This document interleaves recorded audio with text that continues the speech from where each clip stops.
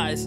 I'm so sorry. I have a sickness. I've had it for a long time, and I've been I've been hiding it from you.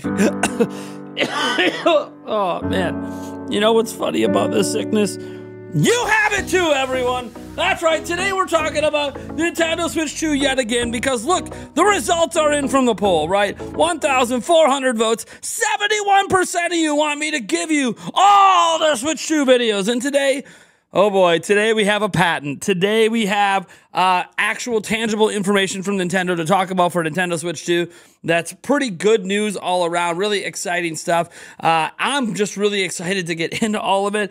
Uh, and you know what? Apparently, 71% of you are as well. Uh, so if you're upset that, hey, we continue to push out these Switch 2 videos, you can get mad at me, right? We got the Switch 2 sickness going on. But you know, you should be looking at people down in the comments. You should be talking to yourselves because you're asking for it. So I'm just giving the people what the people want. Now, what are we talking about today? Well, we have some updates for the Nintendo Switch 2 controller and backwards compatibility, baby. That's what we're talking about. So, Without further ado, we're going to dive in after I remind you hey, if you want to stay up to date, if you're part of the sickness, you want to be part of that 71%, go ahead and uh, subscribe to the channel and all of that. We'll keep you up to date on everything Switch 2. Because my gosh, we got a lot of Switch 2 videos coming your way this week at least. I don't know about after this week, but definitely this week. So if you guys remember, there was a report way, way, way back got one over here on GamesIndustry.biz. See, Nintendo Switch 2 reportedly has magnetic Joy-Cons, new cartridges,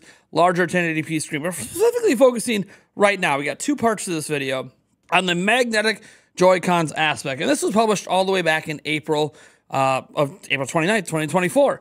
And it came from a bunch of different people, WCCF Tech, and a whole bunch of other places uh, ended up corroborating this so called magnetic uh, Joy-Con thing, which you're like, magnets in the Joy-Cons. Well, then we have this post over on Famiboards, and look, it's a hidden post, so I can't really like post it. But if you look up magnetic Joy-Cons Famiboards, you will find like a post over on uh, I believe it is the Gaming Leaks subreddit that has all the information, but I'll put the direct link to the post in case you happen to be a member of Famiboards and you want to go check it out. So, what we're really focused on today is corroborating this idea that Nintendo's using magnets. Uh, again, we have shipping data information that says it, we had rumors that said it, and now we have a patent from Nintendo that says it. This patent was published yesterday, August 13th, 2024, originally filed for back in October 26, 2023, or I'm sorry, June 22nd, 2023.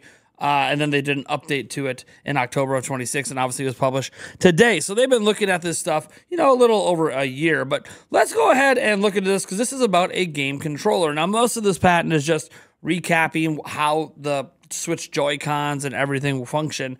But as you go down, there's this first image here. If we take a look into this image, there's one mention on this image we want to get into. And that mention, of course, is right here where you see a magnetic force sensor. No, folks, this is not present on the Joy-Con patent. So this isn't part of the Joy-Con patent. This is an all new controller patent, although the images will look just like Joy-Cons. Because again, they're not going to put images in here of a new controller because they haven't announced one yet. So as we go down, what really matters is we can get into all the text, but we already know how this all functions and how this all works, at least based on this patent and the images associated with it. So here's your switch. We'll zoom out a little bit just so you can see the whole thing on screen here. But as you go down, you see, oh, it's an attachable, detachable controllers. Okay, this is just your standard Joy-Cons your standard Switch. A uh, little back thing, little uh, arrows. If you didn't know what this is, these are just the connectors that your Joy-Cons charge with. Uh, so like those aren't surprising. Those are already on Switch if you've ever taken a Switch and or Joy-Con apart. Uh, I'm not really sure what this is. I tried looking it up in the text. It I don't know if that's related to the magnets or not. But here's what we do know. This looks all standard fare, right? Yeah, these are some images we haven't seen of the Joy-Con in a while. This is all standard fare. That's the connector for the Joy-Con, the charge all of that. But there is one image in here, along with that mention of the magnets, that we need to pay attention to. And that's this one right here the locked and unlocked. So, right here, this is your little nub. You see this thing? That's a, your little nub on both of it. So, like, you know, what locks it in position, you press the button to unlock your Joy-Con in the back. Here's your little nub. Your nub slides down, it goes into the slot. You obviously push in the button, it pops out of the slot to unlock etc., etc., etc. This part here is the new part, number 42 and number 17.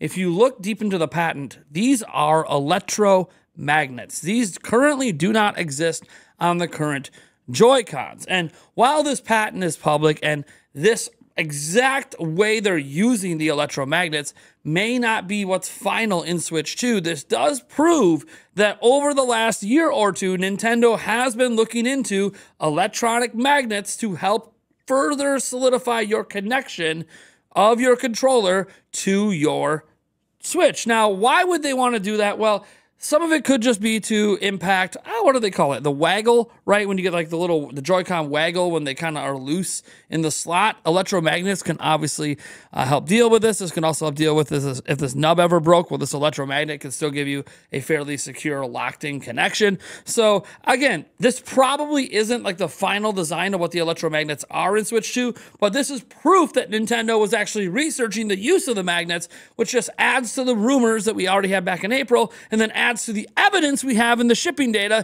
that they are using electromagnets in some form to connect your Nintendo Switch. In some form, maybe they don't even have this nub anymore. Maybe there's this this nub doesn't slide in, and there's a magnet here, and there's a magnet here, and that's how they connect. So again, this is stuff that doesn't exist in the current Joy-Cons, even though this patent is essentially showing off the current Joy-Cons and then just adding this electromagnet stuff in. That's pretty much what the whole patent's about, is just adding in the electromagnet. This also is a little new on the rail if you bother to look at your Switch, you don't have these little raised platforms. I don't know if these are things that like activate the magnets. This here is just the connection point that Switch currently has. So this this part here, this section here, with these little things that look like they go up and down.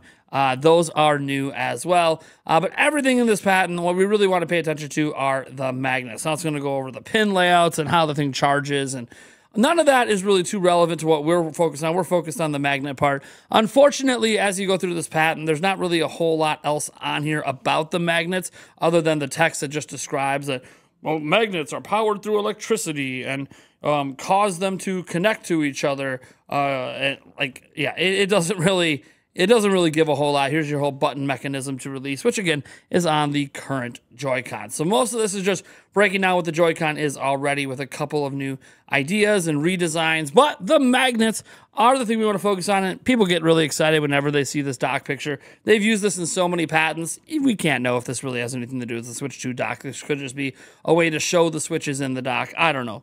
It's kind of weird, but they've now used that in multiple patents. Uh, so that's notable as well. But clearly, that is uh, something that Nintendo has now factually. We have the public evidence. They have actually experimented with magnets connecting Joy-Cons. And now we have the rumors of the Switch 2 controllers using magnets. We have obviously the whole, hey, shipping data saying that the controllers have magnets in them and the console because you know both have to have magnets for it to work so yeah it kind of seems like we're pretty much confirmed here that nintendo will be using magnets of some sort to connect controllers uh, and so, yeah, that's that, that's pretty interesting. Now, next up, what we want to focus on is the idea of backwards compatibility. Look, we've had reports on backwards compatibility and people saying it's going to be there. So I'm not sure if it's going to be full backwards compatibility, all that. Well, Nintendo did something that I think is notable and has been reported on by some, but we haven't covered it here yet. And that is this they updated the patent for the original Nintendo Switch cartridge. Uh, if you look at this, you can see that they originally filed this stuff, you know, a long, long time ago. We're talking all the way back in October of 2016 when they originally applied for it, uh, and then they reapplied here in June and, and, and of uh, of 2024. Now, what is going on? Well, they updated the patent, and you might go, well, what did they update? Now, usually it's the language of the patent that's updated, and there isn't, you know, a ton of language in this. You could argue they maybe updated the images, but all these images here literally are just of the current the, the current uh, cartridge. So what does the update include? Well, I can't seem to find any massive language differences. So the big assumption here is that the reason that they finally updated this patent, gosh, eight years later, would be because there's a new device coming out that's going to be taking these cartridges and they needed the language in there to include that device without specifically naming that device. What people are basically thinking is this means full switch backwards compatibility. This is not a new form of cartridge. This is the exact cartridge we already have. And so full backwards compatibility would be pretty awesome. Like, look, we already know Nintendo accounts are forward compatible because Nintendo told us, which makes most people assume, well, our purchases are tied to our Nintendo accounts, so our digital library might be might be forwards compatible. But what about physical? Well, it appears that hey, they just updated the Switch physical cartridge yeah, they're probably going to end up uh, having Switch physical cartridge backwards compatibility. Now, will it be a single slot where you slot this in, and then if you slot in a Switch 2 cartridge, it uses like a like a different notch or something, like the 3DS and DS did, uh, and then you have your your uh, obviously Switch 2 cartridges that are slightly different than the Switch. That I don't know. Are they going to use the exact same cartridge? I don't know. Uh, or is there going to be two cartridge slots, which I think would be quite interesting if you could store a Switch cartridge and a Switch 2 cartridge at the same time in your system. I actually kind of like that idea. I don't think they'll do it, but I do I do like the concept. And Nintendo has done multiple cartridge slots before. Remember the DS? You would put a GBA game in the bottom, but then a DS game in the top. So like Nintendo's done multiple cartridge slots. So it's not out of the question that Nintendo could have a Switch slot and then a Switch 2 cartridge slot.